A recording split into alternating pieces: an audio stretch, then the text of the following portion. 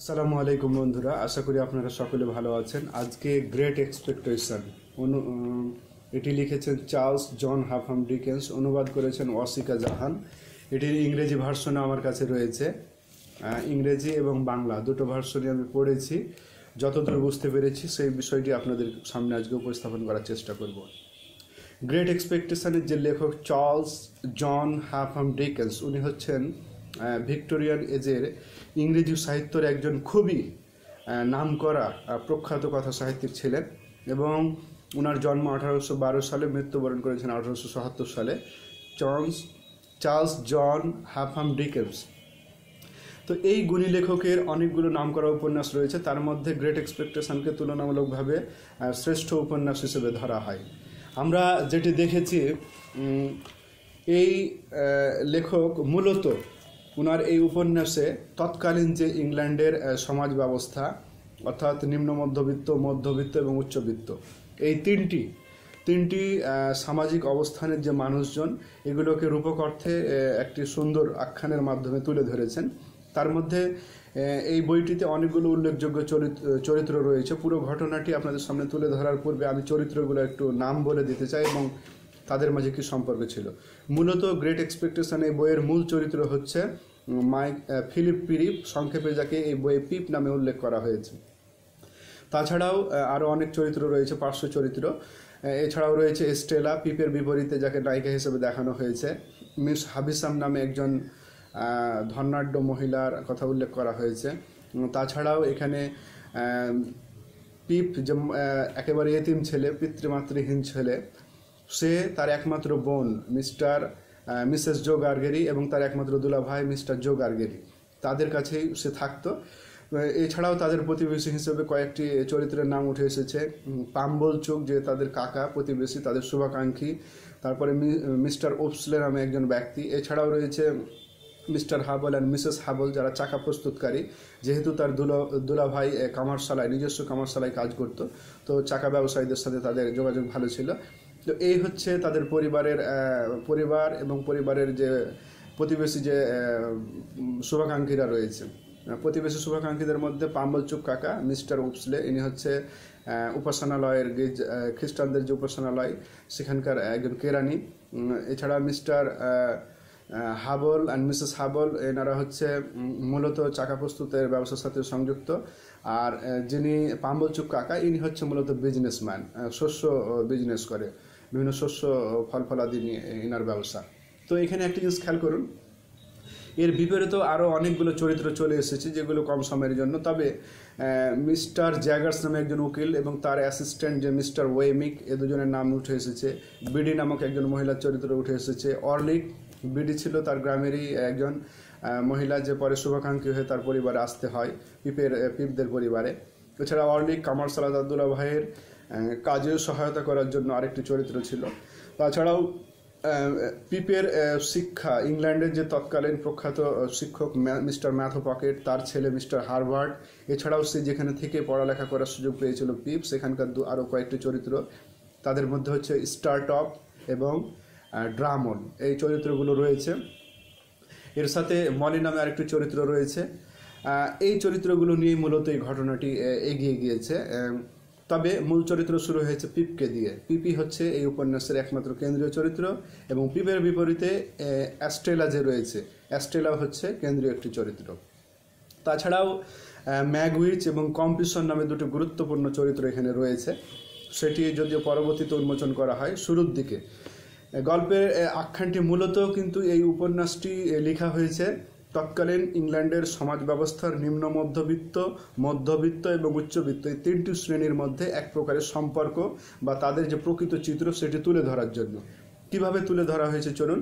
বইয়ের নাম দেওয়া হয়েছে, আপনারা দেখতে পাচ্ছেন গ্রেট এক্সপেকটেশন বইয়ের নাম হচ্ছে গ্রেট এক্সপেকটেশন বইটির কলবার মূলত এই বইটি তিনটি ভলিউমে নাকি লেখা হয়েছিল। তার মধ্যে যে অনুবাদ যে বইটি, এটি একশো চুয়াল্লিশ পৃষ্ঠার, আর এটি যেটি দেখতে পাচ্ছেন, এটি অনেক, তিনশো ছিয়াশি পৃষ্ঠার। উনষাটটি পর্বে ধারাবাহিকভাবে পত্রিকায় বের করেছিলেন লেখক চার্লস জন হাফাম ডিকেন্স বা চার্লস ডিকেন্স। এজন্য এটির জনপ্রিয়তা শীর্ষে ছিল। এখন আজ অবধি এটি সেই একই রকম জনপ্রিয়। কারণ কি, প্রত্যেকটা পর্ব যখন লেখক লিখতেন, পরের পর্বগুলো কিন্তু অগ্রিম লিখে রাখতেন না।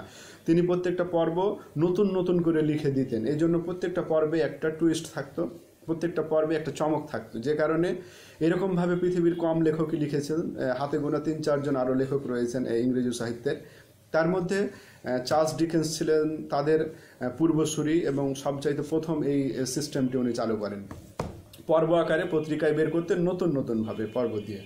তো এখানে যে বিষয়গুলো যেরকমভাবে আখ্যান দিয়ে তুলে- তুলে ধরা হয়েছে, সেটি আমি সংক্ষেপে বর্ণনা করি। যদিও পুরো বইটি পড়লে আপনারা আরও বিস্তারিত জানতে পারবেন। এই যে পিপ, ছোটোবেলায় তার দুলাভাই এবং তার মাত্র সাত বছর বয়স, তার চাইতে তার বোন তার বিশ বছরের বড়, অর্থাৎ তার বোনের বয়স সাতাশ বছর। দুলাভাইও সেই রকম একই রকম বয়সের হবে, এটি খুবই স্বাভাবিক আপনারা যেটি অনুভব করতে পারছেন।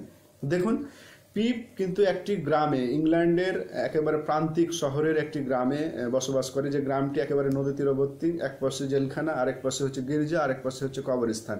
তো পিপ ছোটকালে তার বাবা মাকে হারিয়েছে। সে তার বাবা মাকে হারার কারণে জানে যে তার বাবা মায়ের কবর আরও ভাই বোনের কবর ওই সামনে কবরস্থানে রয়েছে। ওখানেই সে গির্জা প্রাঙ্গণে প্রায় প্রতিদিন খেলাধুলা করে, সন্ধেবেলা হলে ফিরে আসে। একদিন সন্ধেবেলায় খেলাধুলা শেষে সে ফিরে আসছিল, হঠাৎ করে একজন লোকে সে যখন ফিরে আসে কবরস্থানের মধ্যে দিয়ে, দেখল তার পায়ে হোঁচট খেয়ে সে পড়ে যায়। তো কি এক ব্যক্তি যে কবরস্থানে লুকিয়েছিল, তার নাম হচ্ছে ম্যাগউইচ সেই ব্যক্তিটি কি করে? তাকে ধরে ফেলে। ধরে ফেলে বলে তুই আমার জন্য খাবার নিয়ে আসবি কাল খুব সকালে। দেখে তার পায়ে, এক পায়ে শিকল রয়েছে। দেখে মনে হচ্ছে জেলখানা থেকে সে পালিয়ে এসেছে। যদিও ছোট বাচ্চা পিপ বুঝতে পারছে না। তবে এরকমটি চিত্রের বর্ণনা এখানে দেয়া হয়েছে। এবং সে ক্ষুধার্ত চুল বড় বড়, তার পায়ে শিকল পরা আছে, এক পায়ে এক পায়ে শিকল খোলা। তাকে পিপকে ভয় দেখায়, তুমি অবশ্যই কি করবা? কালকে সকালবেলায় খুবই প্রত্যুষ, একবারে খুব সকালে আমার জন্য খাবার নিয়ে আসবে না হলে তোমাকেই খেয়ে ফেলব। পিপ তড়িঘড়ি করে সেই দিন ছিল চব্বিশ ডিসেম্বর, বড়দিনের পূর্বের দিন। আমরা জানি যে খ্রিস্টান ধর্মাবলম্বীদের জন্য এই দিনটি খুবই গুরুত্বপূর্ণ। তো ওই রাতে তার বোন অনেকগুলো খাবার করেছিল। যেহেতু আত্মীয় স্বজন এরকম বড়দিনে সব বেড়াতে আসে। সেখানে, সেখান থেকে কিছু খাবার, যেহেতু তার বোনটা আবার খুব খিটমিটে স্বভাবের ছিল, সবসময় বকাঝকা করতো। তার দুলাভাই মিস্টার জো গার্গেরিকে এবং তাকে। তো এই বকাঝকার যেহেতু খাবার যদি নেয়, তাহলে তো আরও বকাঝকা করবে, একে তো কিছু করে না। এই যে মিস্টার গার্গেরি, তার দুলাভাই, সে কিন্তু তার নিজস্ব কামারশালায় কাজ করে। তাকেও বকাঝকা করে, এত কাজ করার পরেও। অনেক মহিলা এরকম থাকে যারা একটু আহ, মুখহরা টাইপের সবসময় বকাঝকা করে স্বামীদেরকে। তো মিস্টার জো গার্গেরি অনেকটা এরকম ছিল। তো সে খাবার বানিয়ে রাখা বড়দিন উপলক্ষে এই যে খাবার সেই খাবার বানিয়ে রাখা যেগুলো রাখা ছিল সেগুলো চুরি করে সে আলাদা করে অল্প অল্প একটু করে রেখেছে। এছাড়া ব্র্যান্ডি যে তাদের অন কাইন্ড অফ ওয়াইন এটা এই ব্র্যান্ডিগুলোও সে কী করেছিল? কৌশলে একটি বোতলও নতুন বোতল খুলে তার কাভার খুলে কিছুটা নিয়ে সেখানে আবার সে কী করেছিল? ব্র্যান্ডের কালার যেহেতু কিছুটা ব্ল্যাক কালার ছিল, সে সেখানে কিছুটা আলকাতরা মিশিয়ে দেয় যাতে করে তার বোন বুঝতে না পারে। কারণ বুঝতে পারলে তাকে আবার বকাঝকা করব। তো এই বিষয়টি একটা হাস্যকর বিষয় ছিল, পড়লে বুঝতে পারবেন। খাবার সে সকালবেলায় তাকে দেয়, কিন্তু যাওয়ার পথে দেখে আরেকজন ব্যক্তি লুকিয়ে রয়েছে। তার পায়েও এরকম কি শিকল, এক পায়ে শিকল, আরেক পায়ে কিছু নেই। তাকে খাবার দেয়, খুবই সন্তুষ্ট হয় কে ম্যাগুয়েজ সন্তুষ্ট হয়ে তাকে বলে যে হ্যাঁ ভবিষ্যতে তোমার শুভ, তোমার জন্য শুভকামনা রইল। কিন্তু সে তাকে ওই কয়েদির কথাও বলে যে হ্যাঁ আরেকজন আপনার মতোই দেখলাম। সে বুঝে ফেলে, কারণ দুজন কয়েদির সাথে সম্পর্ক ছিল। সে সম্পর্কটা একেবারে উপন্যাসের শেষে গিয়ে, একেবারে লাস্টে গিয়ে এটি আলোচিত হয়। ওইটি মূলত টুইস্ট পরবর্তীতে আপনারা পড়লে জানতে পারবেন। আমিও কিছুটা টাচ দিব আপনাদের। এখানে এই বইয়ে, এই যে, পিপের সাথে এই দুর্ঘটনা ঘটলো গ্রেট এক্সপেকটেশন কেন বলা হয়েছে? মূলত এই গ্রেট এক্সপেকটেশন বলার একটি কারণ যে এখানে এই যে পিপ একজন নিম্ন মধ্যবিত্ত, একেবারে নিম্নবিত্ত বলা যায়, পরিবারের যে এতিম ছেলে তার একেবারে খুব কম আয় উৎপাদনকারী একটি পরিবার তার দুলা ভাইয়ের কামারশালায় থাকে, কিন্তু তারপরেও সে প্রত্যাশা দেখেছে যে আমি কি বড় হব। এই জন্য সে কামারশালায় কাজ শুরু করে। তার প্রথম এক্সপেকটেশন ফার্স্ট এক্সপেকটেশন শুরু হলো কি? যে আমি বড় হব। বড় হয়ে প্রতিষ্ঠিত হব। এই জন্য সে কামারশালায় কাজ শুরু করল, স্থানীয় ম্যাজিস্ট্রেটের কাছ থেকে কাজের অনুমতিও নিল। অনুমতি নিয়ে কাজ শুরু করার পরে তার কাছে আরও একটি চমৎকার প্রস্তাব এলো। একজন তার যে পাম্বল চোখ কাকা, তিনি প্রস্তাবটি নিয়ে এসেছেন। ওই একই এলাকায় তাদের ওখান থেকে কিছুটা দূরে যে ধর্নাঢ্য ব্যক্তির কথা বললাম, মিস হাবিসাম, সেই হাবিসামের একটি আশ্রিত কন্যা রয়েছে। তার নাম হচ্ছে অ্যাস্টেলা। অ্যাস্টেলার সাথে খেলাধুলা করে সময় কাটাতে হবে। এই কাজটির প্রস্তাব নিয়ে আসলো কে? পাম্বলচুক কাকা। পাম্বলচুক কাকা হচ্ছে তাদের শুভাকাঙ্ক্ষী প্রতিবেশী। তো সেখানে সে যায় প্রথম দিন, গিয়ে দেখে প্রথম সাক্ষাৎ হয় কার সাথে? সেই অ্যাস্টেলার সাথে, অ্যাস্টেলা গেট খোলে। অ্যাস্টেলা হচ্ছে তার বিপরীতে এখানে নায়িকা চরিত্র। অ্যাস্টেলার সৌন্দর্য সে মুগ্ধ হয়ে যায়। সৌন্দর্য মুগ্ধ হওয়ার পরে যেটা হয়, সে কিন্তু অ্যাস্টেলা তাকে তুচ্ছ তাচ্ছিল্য করে এবং তাকে সবসময় ছোট করে দেখে। ভালোবাসার তো কোনো লক্ষণই নেই, কোনো সহানুভূতি নেই, সহমর্মিতা নেই। তদুপরি মনের মধ্যে ঠাঁই পেয়ে যায় এই পিপের মনে কি? সেই অ্যাস্টেলার কথা, অ্যাস্টেলার সৌন্দর্য। তিনি আরও অবাক হন মিস হাবিসামের বিচিত্র ধরনের আচরণ দেখে। মিস হাবিসাম সবসময় একটি রুমে, অন্ধকার রুমে, ড্রেসিং টেবিলের সামনে বিয়ের কাপড় পরে, বিয়ের সময় যে কাপড় পরে, সেই কাপড় পরে তিনি বসে থাকে এবং সারাক্ষণ সমস্ত বাড়ি অন্ধকার থাকে একটি মাত্র মোমবাতি জ্বালিয়ে বা একটি বাল্ব জ্বালিয়ে সে শুধু বসে থাকে। এই বিষয়টি তাকে খুবই অবাক করে যে এরকম কেন? যাই হোক সেদিকে তার অতটা মন ছিল না, এটি লক্ষ্য করেছিল মাত্র। কিন্তু সে প্রথম যে বিষয়টি দেখল, অ্যাস্টেলা। অ্যাস্টেলার প্রতি তার একটি সহমর্মিতা তৈরি হয়ে গেছে। এভাবে করে আরেকটি এক্সপেকটেশন কিন্তু যেহেতু তুচ্ছ তাচ্ছিল্য করছিল কে? এই অ্যাস্টেলা। এই জন্য সেখানে সে খুব একটি বেশি আদর বা খুব একটি বেশি যে সহানুভূতিশীল আচরণ এরকমটা কিন্তু অ্যাস্টেলার কাছ থেকে পায়নি সে কী করল? এর পরবর্তীতে তার জন্য আরও একটি অফার আসলো, প্রস্তাব। সেটি হচ্ছে সুদূর ইংল্যান্ড থেকে একজন শুভাকাঙ্ক্ষী, যে এক উকিলের মাধ্যমে, সেই উকিলের নাম হচ্ছে মিস্টার জ্যাগার্স। যিনি প্রস্তাব নিয়ে এসেছেন যে পিপের একজন দায়িত্ব নিয়েছে ইংল্যান্ডে থেকে, সেই বিখ্যাত যে শিক্ষক মিস্টার ম্যাথু পকেট। ম্যাথু পকেটের বাসায় থেকেই সে কী করতে পারবে? সে পড়ালেখা করতে পারবে। তো এটি পিপের জন্য একটি চমৎকার প্রস্তাব ছিল। পিপ সানন্দে রাজি হয়ে গেল। তার বোন এবং বোন জামাই দুজনকে রেখে সে চলে গেল কোথায়? সুদূর ইংল্যান্ডে। ইংল্যান্ডের শহরে গিয়ে সেখানে সে পড়ালেখা শুরু করল। পরিচিত তার সাথে পরিচয় ও বন্ধুত্ব হলো মিস্টার হারভার্টের যেটি ম্যাথু পকেটের ছেলে। তো সেখানে তারা বন্ধুত্বপূর্ণ সম্পর্ক হলো। পড়ালেখা শুরু করল, দুজন একসাথে চলাফেরা শুরু করল, ঘোরাঘুরি শুরু করল। তাদের কিছু বাজে স্বভাব ছিল। তারা বিভিন্ন ক্লাবে যেত টাকা পয়সা উড়াতো। এইভাবে করে তাদের সমস্যা হয়। পরে গ্রাম থেকে তার যে একমাত্র দুলা ভাই মিস্টার জো গার্গেরি, উনি গিয়ে এই যে, যেগুলো দেনা হয়ে গেছিল তাদের, ধার হয়ে গেছিল, সেগুলো শোধ করে, আবার ফিরে আসে। এরই মধ্যে আবার হঠাৎ করে জানতে পারে একটি লোক। সে আর কেউ নয়, সে হচ্ছে সেই মিস্টার ম্যাগুইজ যার আরেকটি নাম হচ্ছে প্রভিউস এখানে বলা হয়েছে। তো সেই ম্যাগুইজ চলে আসে এবং পিছে পিছে অনুসরণ করে কি করে মিস্টার পিপের রুমে ঢুকে যায়। পরে জানতে পারে যে হ্যাঁ এই হচ্ছে সেই ব্যক্তি, এই হচ্ছে কি যার যখন ম্যাগুইজ বলে যে আমি তোমাকে চিনি, তুমি হচ্ছে তোমাকে কেউ সাহায্য করে, তুমি পড়ালেখা করছ তার টাকায়। তো সে তখন ধীরে ধীরে জিজ্ঞেস করে, তুমি আমাকে কীভাবে চেনো? শেষ পর্যন্ত ম্যাগুইজ বলে, আমি হচ্ছে তোমার সেই শুভাকাঙ্ক্ষী, যে তোমাকে আমি তুমি আমাকে একদিন সেই মনে আছে ছোটকালে তুমি আমাকে গির্জা প্রাঙ্গণে কবরস্থানের ওখানে আমি লুকিয়েছিলাম, তুমি আমাকে খাবার দিয়েছিলে। তোমার প্রতি সন্তুষ্ট হয়ে আমি তোমাকে এই প্রস্তাবটা দিয়েছিলাম যে আমার নাম বলা যাবে না, সেই উকিলের মাধ্যমে তোমাকে আমি আর্থিক সহায়তা দিচ্ছি যাতে তুমি পড়ালেখা করে বড় হতে পারো।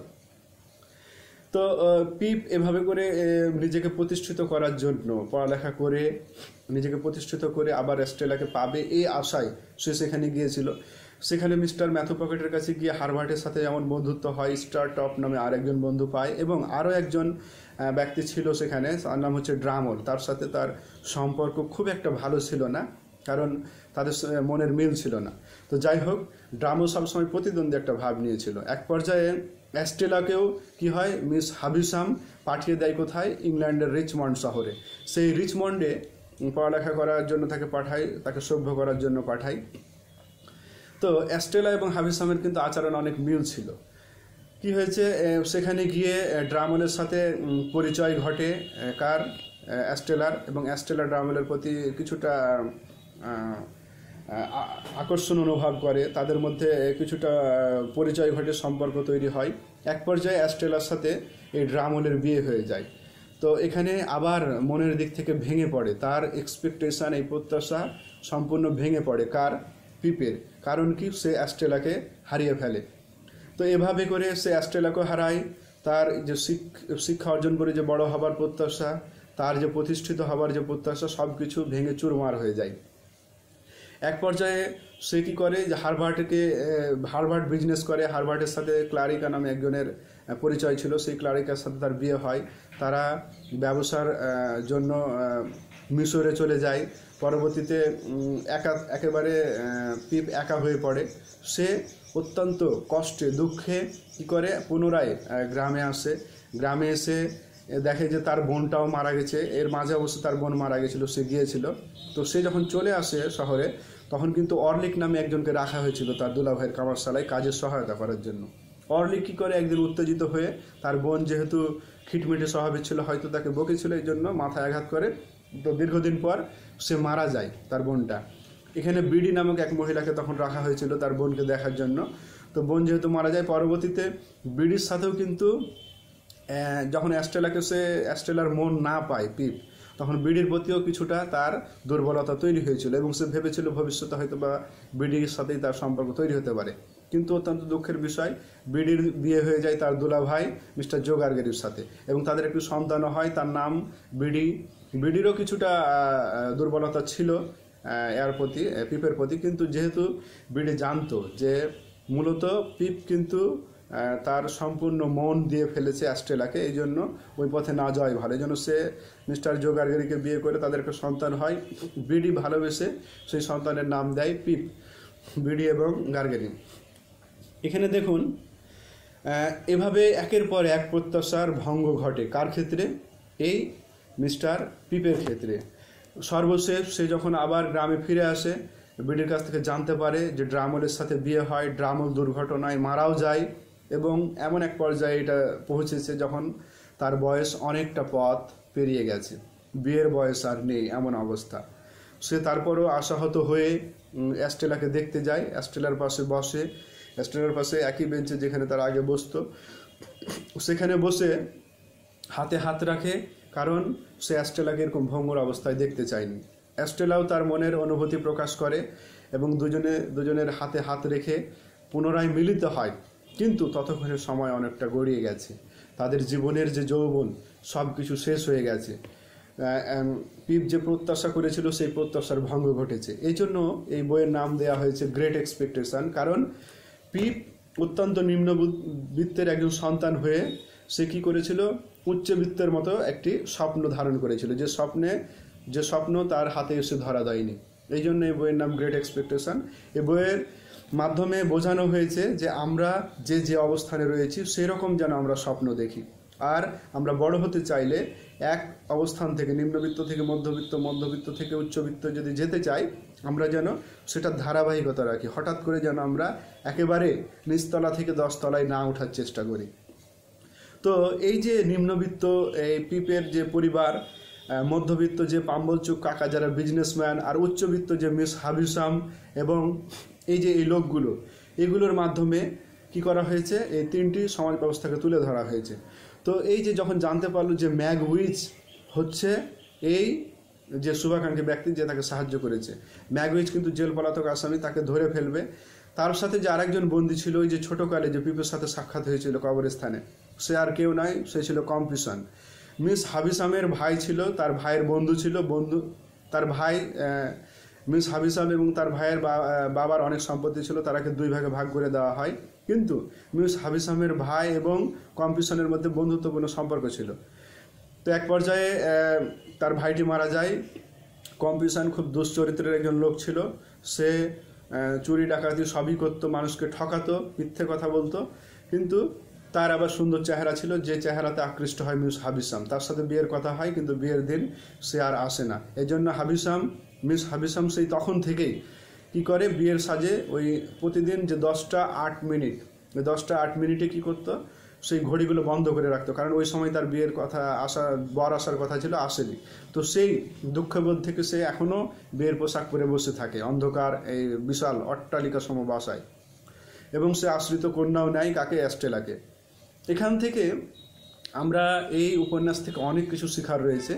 তবে মূল যেটি শিক্ষণীয় বিষয় মনে হয়েছে, সেটি হচ্ছে আমাদের স্বপ্ন দেখতে হবে আমাদের নিজ নিজ অবস্থানের পরিপ্রেক্ষিতে। আমরা যেন আমাদের স্বপ্নটাকে অতি বড় করে না দেখি, আবার বৈষম্যহীনভাবে না দেখি। আমরা সম্পর্ক তৈরি করার ক্ষেত্রেও এরকম শিক্ষণীয় বিষয়টি আমাদের মধ্যে রাখতে পারি। তো সব মিলিয়ে এই উপন্যাসে যে তৎকালীন যে সমাজ ব্যবস্থা এবং বর্তমান সমাজে আমাদের যে সমাজ ব্যবস্থা, তিনটি, নিম্ন মধ্যবিত্ত মধ্যবিত্ত এবং উচ্চবিত্ত এই তিনটি বিষয়কে এখানে সম্পৃক্ত করা হয়েছে।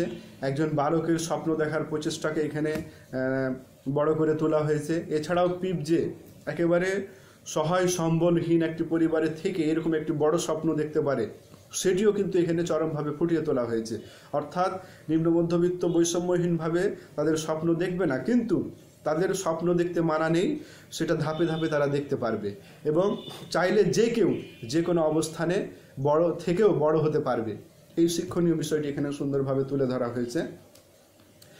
আশা করি আপনাদের সামনে আমি এই বইটি সম্পর্কে যতটুকু সম্ভব তুলে ধরার চেষ্টা করেছি। বইটি আমি যতটুকু না বলেছি আমি যতটুকু না বুঝতে পেরেছি, যতটুকু না তুলে ধরতে পেরেছি, তার চাইতে বেশি আপনারা জানতে পারবেন। যদি এ বইটির অনুবাদ এবং মূল যে বইটি, দুটোই আছে, আপনারা যদি পড়ে দেখেন। ভালো থাকবেন, আবারও নতুন কোনো বই নিয়ে আপনাদের সামনে আসব। আসসালামু আলাইকুম।